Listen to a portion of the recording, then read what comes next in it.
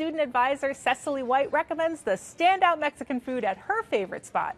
For wood fired plates and a great happy hour, she heads to El Mezcal Cantina in Point Breeze. Mi nombre es Eladio Soto Sánchez, soy el chef de Mezcal Cantina. Exactamente tenemos un año y medio. Algo que nos distingue mucho es que pusimos un aguachile bar, que realmente en México pues ahorita es muy popular y bueno, yo lo quise traer en Filadelfia. Los sabores y los ingredientes es, aquí manejo 100% natural, lo que es tradicional de México. Acá los platos más este, populares, lo que yo tengo son tacos al pastor, que realmente nosotros lo hacemos en el trompo, el molcajete, que es bien este, tradicional, que le ponemos cuatro diferentes carnes, los camarones a la parrilla, es, este, vienen con una mantequilla que es de mezcal, chile de árbol, limón. Aproximadamente como 17 años cocinando. Em- Empecé de preparador y ahora ya soy un chef.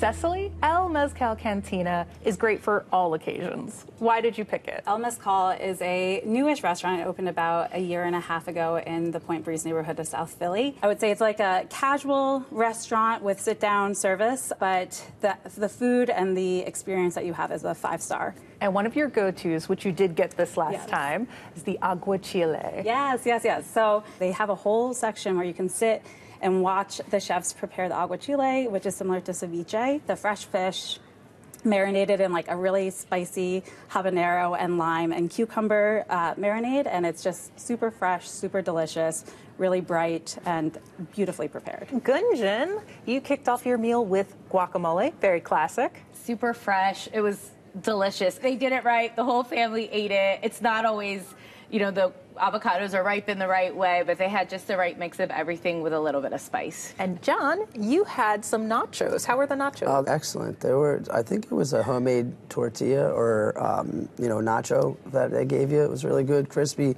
Um, some crema on top with I believe it was cotija or something else on there, but it was really good. It was very flavorful. Did that come chicken. with chick- oh, yeah, it came with chicken. Some good chicken. It seemed like it was marinated. It was really really good. We got the queso fundido, which Oh, is melted cheese, Mm-hmm. and there's um, I think poblano and onion on it, and it's melty. It was it was perfect. I was not sure about being a fan of fusion food because it was Mexican and pizza, and I'm like, how good is this gonna taste? Well, we got the one that had pineapple and al pastor, pastor. cilantro, Yes, yes. and it was really good. Even my children liked it. Yeah. So Oh, John, Yeah. you went classic. You got I a margarita classic. pizza.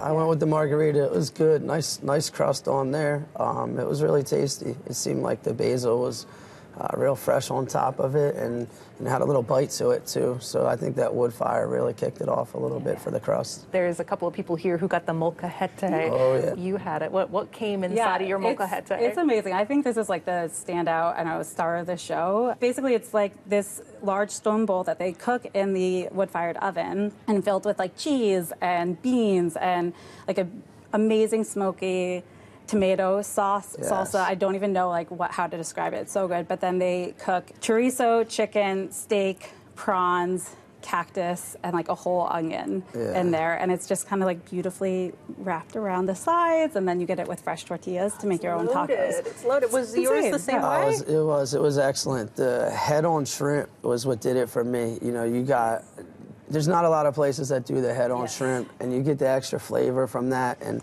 I'm not scared to get my hands dirty when I get into there, so I literally ripped the head off, jammed my thumb down the side, and just tore Sucked into it it. in. Yeah, it was good.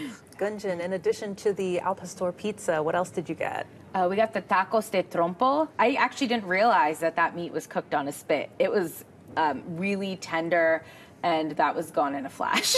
there was like three tacos. Every everybody ate one and shared one. So I really liked those. We also got the whole fish, um, which also surprising to get in kind of a local neighborhood restaurant, and it was. Um, Really flaky, really easy to eat. They already kind of had it filleted open, and so it's mm. impressive. I mean, how many places can you get a whole cooked fish? So it was delicious. sounds like a lot of these things were crowd pleasers for the kids because you dined mm. with three children. we're trying to introduce them to different foods, and this was a great opportunity because there was always fallback pizza, mm-hmm. there's always nacho chips, but then you can take it a step further with trying these different salsas that are on the food, um, the you know the pulley cheese, trying things in a little bit in a different way, which I think was super accessible for them. Cecily, how are the wings? They were awesome. So they were part of the happy hour uh, menu. The wings were cooked in the oven with the fire, so you got that smoky flavor. They were tossed in like a buffalo like sauce with some Mexican spices. It was phenomenal. And for dessert, Cecily, you got a concha. Yeah, so this you have to order a little bit in advance. It can't be like because they put it into the oven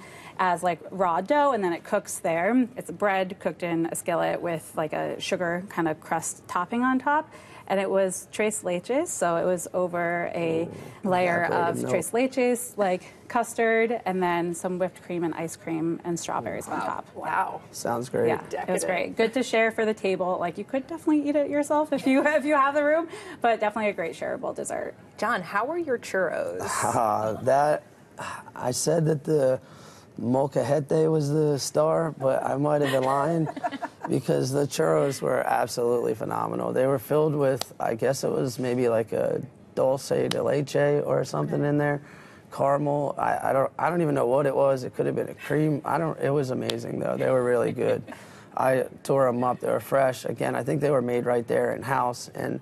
Um, it was just a really, really nice dish. It was tender, like you bit a little crunch, but the inside was just really soft. And then when you hit that sauce that was in there, oh my God, it was amazing. For drinks, you got a mango chamoy. Yes. How was it? It, the drinks are on point. They have a small bar area where you can just sit at the bar, but you can also order um, like mixed drinks with fresh juices, fresh lime. You can tell, and um, they don't shy away from using Tajín on the on the cup, and um, they're really. Really delicious drinks. I mean, I think that the drinks in the food rival any Center City restaurant. I think it's a so exciting to find something that's in a residential neighborhood that is accessible to all different people in a neighborhood rather than having to necessarily go downtown. So the drinks are really good. And of course, can't go without a margarita. Yeah.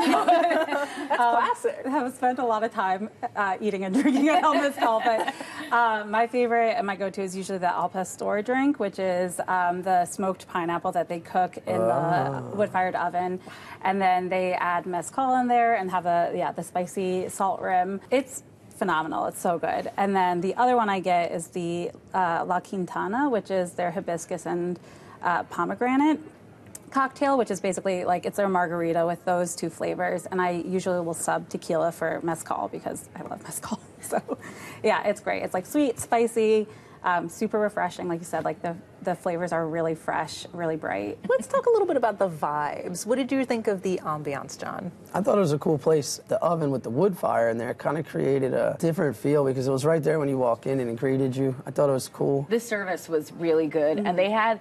Um, I feel nowadays at some restaurants, you feel like everyone's like, we're always short staffed, but I did not feel that there. It was a really high level of service. Yeah. Oh, Cecily El Mezcal Cantina is your pick. Sum it up for us. All right, El Mezcal is a gem amongst beautiful jewels. I don't know, but it, it basically it's like it's one of those restaurants that punches way above its weight. Like you know you're gonna get a five star experience um, when you walk in with a really casual, welcoming vibe. So definitely everyone should go check it out. And John, what are your final thoughts? Wood fire oven, pizza, churros. I mean, you can't go wrong. It was a cool spot. And Gunjan, what's the final takeaway? I mean, family friendly, um, great neighborhood spot.